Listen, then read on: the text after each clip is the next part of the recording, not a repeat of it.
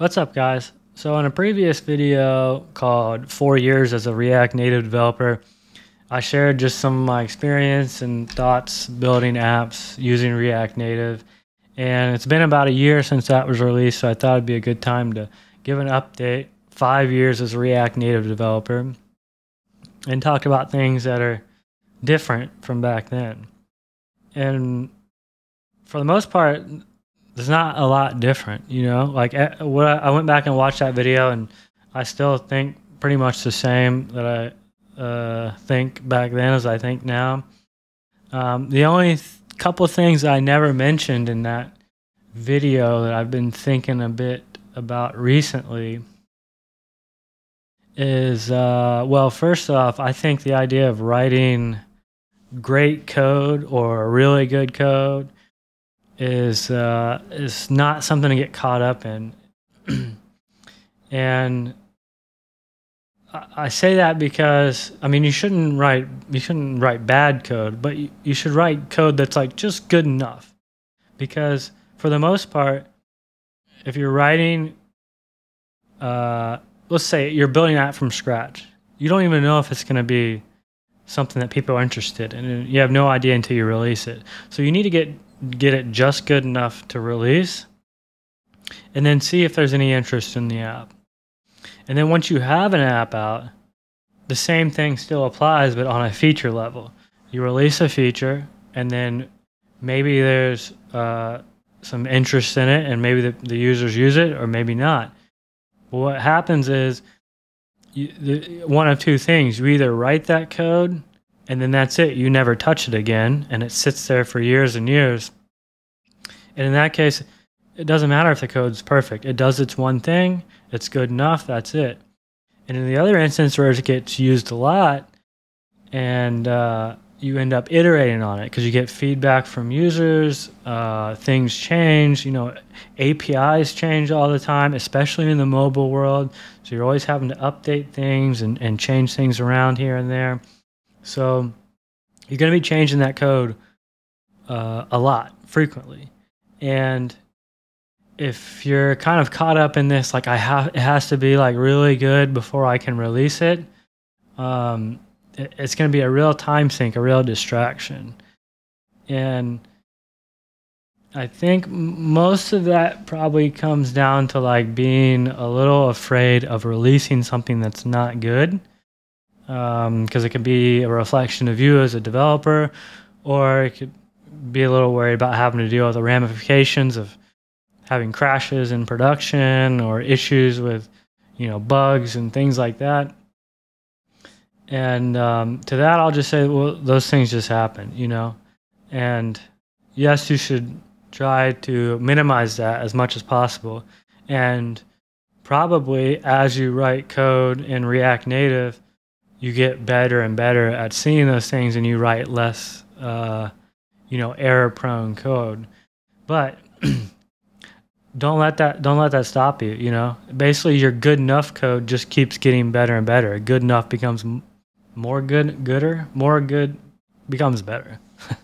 So uh, so i wouldn't sweat it you know? Like i said don't don't try to write bad code but but don't be afraid of of putting stuff out there that's just good enough. And and the reality is with React Native, if you put code out there that crashes, you can use code push and immediately patch it and fix it. And that's something you can't do if you're writing pure native. so the other thing I've been thinking about recently is you see sometimes online the discussions of React Native versus native or React Native versus Flutter. And it's like, which one's better? Well, this one's better, that one's better. And the reality is, it doesn't matter. They're all tools to build apps. If you get down to specific features, you know, maybe React Native is better at one thing than native, or maybe native code is better than React Native at another different thing. If you're talking if you're talking specifics, Okay, now now we can see which one's better. But just in generalities, it, it, it's just like a waste of time because they're all just tools to build apps. Now, of course, if you're a freelancer that makes React Native apps, or if you're a company that makes React Native apps, of course, you're going to go around telling everybody that React Native is better because you, you're incentivized to do that. You, you, you, sell services to build React Native apps. You can't walk around going, ah, it's not that great or it doesn't matter. Um, so you'll see everybody that's in their camp is going to be screaming the benefits of their camp, you know. So I think the best thing to do is is to realize that they're all tools to build an app. And and what's the point of building an app? Sometimes it's easy to get caught up in in the idea of building the app is the point to build the app, especially when you're a developer and you're the one building it. But the reality is the app is for a user. Somebody on the other end, somebody on their phone is going to download that app and use it. And the app is for them and nobody else. So if you can flip your mindset to focus on that user that has downloaded the app, not what framework, not what, you know, whether you should do these unit tests or UI tests or, or anything like that, and you focus on making something that the, the end user wants um, I think that's a way to, you know, really stand out as a developer. And um, it's easier said than done. But it's, even though it's easier said than done, it's also very simple because all you have to do is release an app, you get feedback from the people using the app. If you can't get any feedback, then it's probably not a good idea um, or you haven't presented the idea in the right frame and you need to do something different.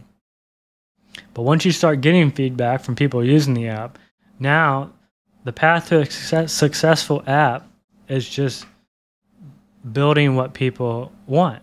They tell you, hey, I, like this feature, and then you build it. Now, of course, you need to ignore like crazy requests, but there's this idea like there's this story that, that's probably not even true but i've heard it multiple times from different people that said that like henry ford said if i asked my customers what they wanted they would have said faster horses instead of cars. And i've heard something similar about steve jobs. This idea that like the users don't know really know what they want or they can't articulate it. And you as a developer or creator or a business person or whatever should know better than the users what they want. And uh, I don't, I, yeah, try not to get caught in that. It seems like just like a little bit of an arrogant trap to get caught in, because the reality is, the users know what they want, and they'll tell you. They they may not articulate it exactly um, how it how it should be built, and they may be just you know coming from their own perspective, of course and not the perspective of all users. And you may have to translate that a little bit. Really, the path to a successful app, once you've hit on something that people are truly interested in, enough that they're emailing you to re- request more features, is to just get feedback, build the build this feature they want, and then release it. And you just do that. And and I think more often than not, people probably, especially if you're like a solo developer or something, you probably stop too early because it takes a couple years to, to get a really good app going. Um, I think for most apps, you know, you see like things in the in the charts skyrocket after being out for a few months, but but but that's not the reality for most people. So, anyways, that's my thoughts. Um, if you guys have any questions or or or have anything to say or think differently than than what I'm saying, um, leave a comment down there. Let's keep this discussion going. All right. See ya.